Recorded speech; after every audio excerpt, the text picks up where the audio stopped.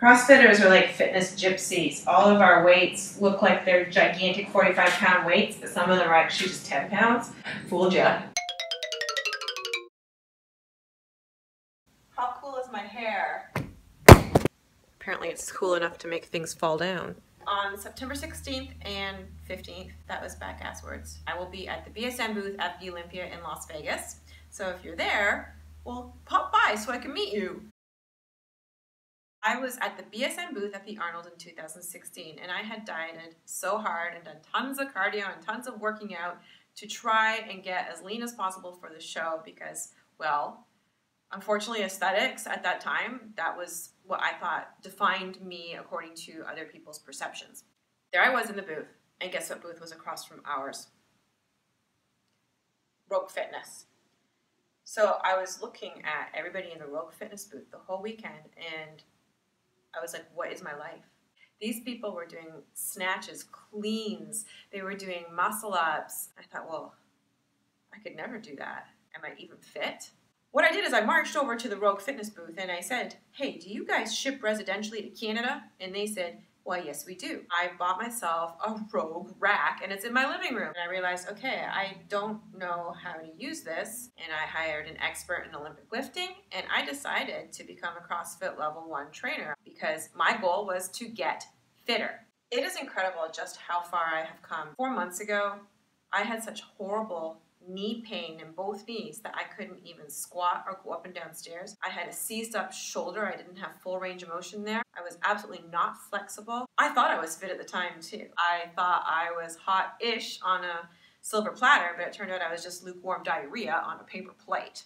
And I still am. I know I am on a journey. It's an odyssey and it takes years, but it's so motivating. My point is, four months have passed and I'm a completely different person. My body is no longer achy. I don't have pain anywhere. I have incredible flexibility. In fact, I can do the splits all three ways. My shoulder range of motion is so epic, I can hold handstands for 20 seconds and I have no issues squatting, deadlifting, and now I'm learning Olympic lifting.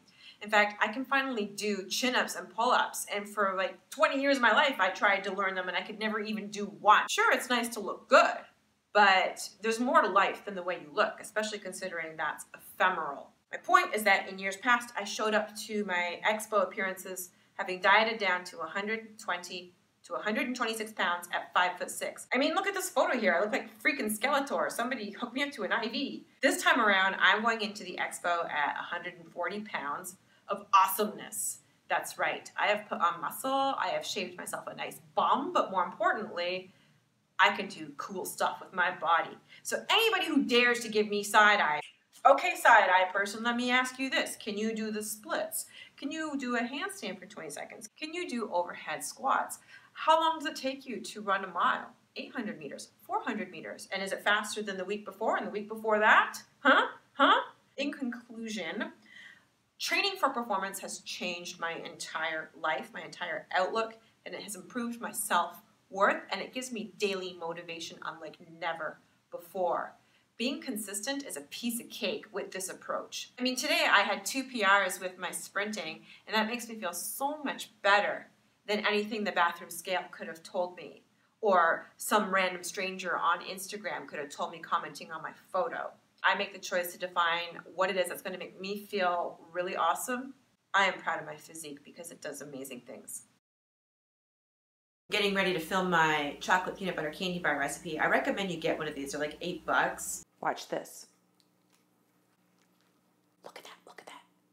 So don't comment below, oh Sara, where is the recipe? I want to see the recipe. Just click the damn card, okay? I posted my candy bar recipe on my Facebook page today, and somebody commented, Dr. Sara has the best DSLs. And I'm like, DSLs? What's that? DSL? Um, well, I guess he's referring to my digital snack library, so thanks. I thought I better look it up before saying thank you, just in case, because, like, you never know. You never know. Yeah. Yeah. And now I will clean my BSN delivery. Look out. This was what was inside those boxes. I always pop my fish oil during my eating window and I store it in the fridge. That doesn't look good. Are you done? If you follow my fat loss fast system, you know that I use AminoX for my fasted morning workouts. So both of these products give us the BCAAs, and this one also gives us the pre workout benefit of caffeine, the extra energy. These are my favorite flavors of Syntha-6 Edge, and you see that I use these in my protein fudge recipe, my protein candy bar recipes, and you can find all four of these BSN supplements on my website on the homepage at drsarasolomon.com. Oh, good thing there's an outlet there for all the plugs I just made. Ooh, I just tried the Fruit Punch AminoX Edge. So good. It has caffeine in it. Can you tell? When I'm at the Olympia, there isn't a ton of free time for me to get food. So what I do is I pack portable stuff in my suitcase, like protein bars, the canned tuna, the high fiber crisp bread. I like it because it makes me feel full and it keeps me regular. All of this is 150 calories and 16 grams of protein. So I'm at my computer and I'm not eating peanut butter. I swear. How do I turn this around? Why can't I turn the screen around? I want to turn the screen around. This is my VIP Team SS Facebook group. Tonight I just posted a quickie tutorial video on how to go about flexible dieting, how you track your calories and macros. No. No. No. No. No. No. No. No. No. No. No. No. Oh yeah, by the way, um, I'm getting a kitten on September 19th. So soon there will be two.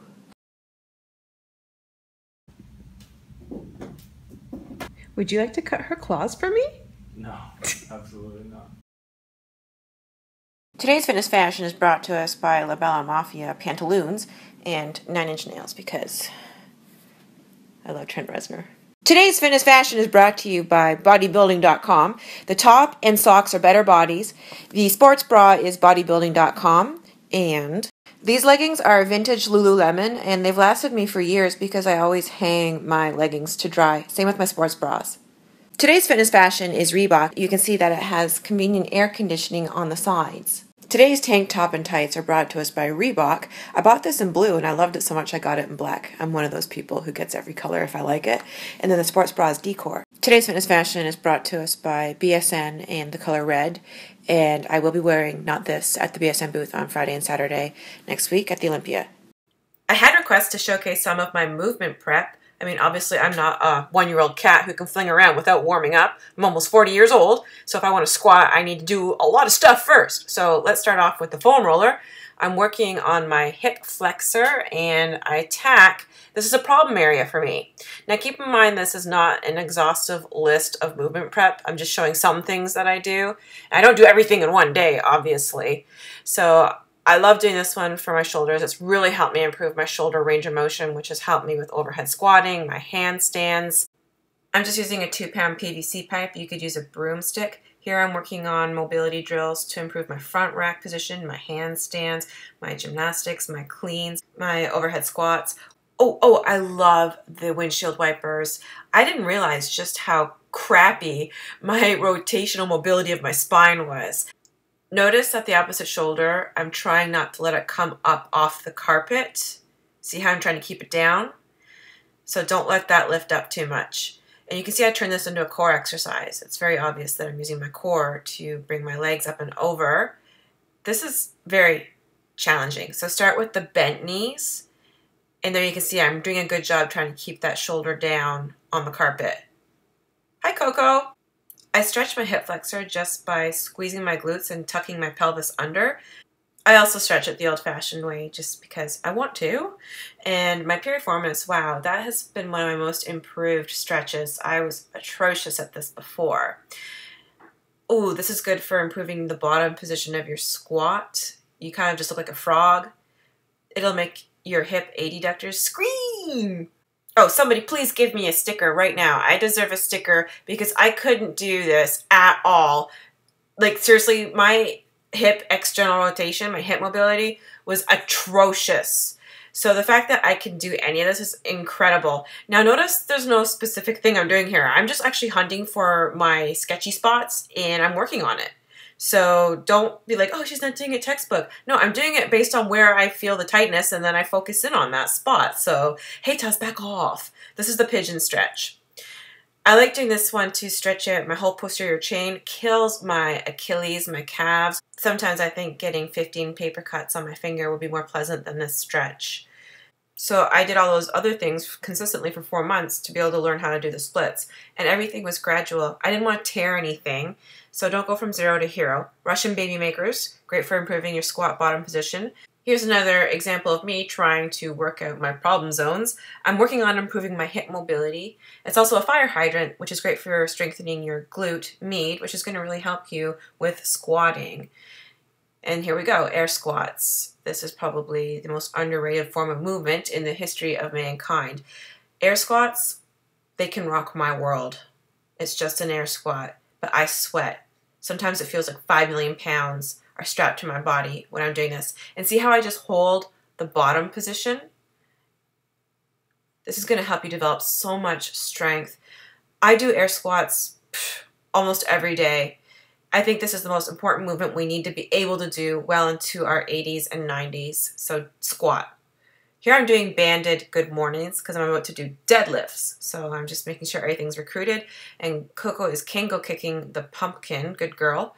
Because I was willing to devote so much time to improving my core and glute strength, my mobility, now I'm ready to start doing more exciting things like deadlifts and cleans. That's right. I have a treat for you. I videoed my first lesson on how to do cleans. This is my coach, Gus. Shoulders come over the hips, then I bring the hips over the heels. And just let your arms be relaxed. Right? Your, your lats are engaged.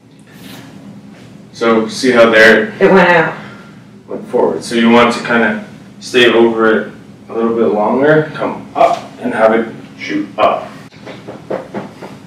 Here, and then at this stage, punch her elbows under and jump her feet out to her squat stance. Good. Can you actually show me what I'm doing versus what I'm supposed to do? So it's just that from here, you're just a little bit slow. Oh. Be quick under it, right? So by the time it hits, I want to be. My elbows are okay. I want to be up, active, really kind of accelerating through. Good. I'm just driving my knees back and loading my hamstrings. Good. Well, yes. Got off.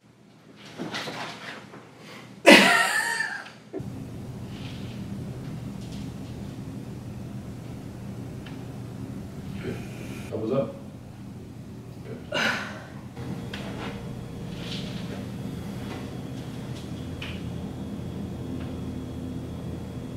Good?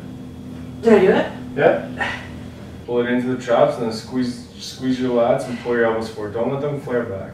Damn it. Knuckles to the ceiling. Good. Breathe in, press that belly out. And the hips back.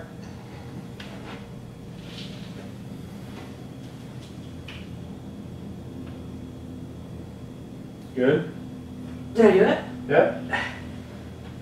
That was really hard, eh? Think about touching your hamstrings to your calves. The best advice I can give you is to just keep piecing the days together and be patient. You're going to have to put forth effort. Sure, Gus can show me how to do something, but at the end of the day, it's up to me to hone that skill, to work at it, to make the choice to get more flexible, to get stronger. He can't do that for me. Just like with the fat loss fast system, I can't just, you know, give it to you and be like, poof, now you're going to lose fat. It's up to you to read the material, implement, be your own guinea pig, experiment, and do it. You just have to do it. Do it well. There's a difference between doing something and doing something well. At the end of the day, when you're lying in bed, you know if you did a good job or if you didn't do a good job. Be honest with yourself. I have one thing to say, and then I'll go. I get results when I'm consistent. When I'm not consistent and I'm not disciplined, I don't get results. I want to inspire people who think that it's not possible to change your situation because it is. Thanks for watching. Don't forget to comment below. I love reading your comments. The next vlog will be my Olympia extravaganza. Subscribe or else ingrown hairs.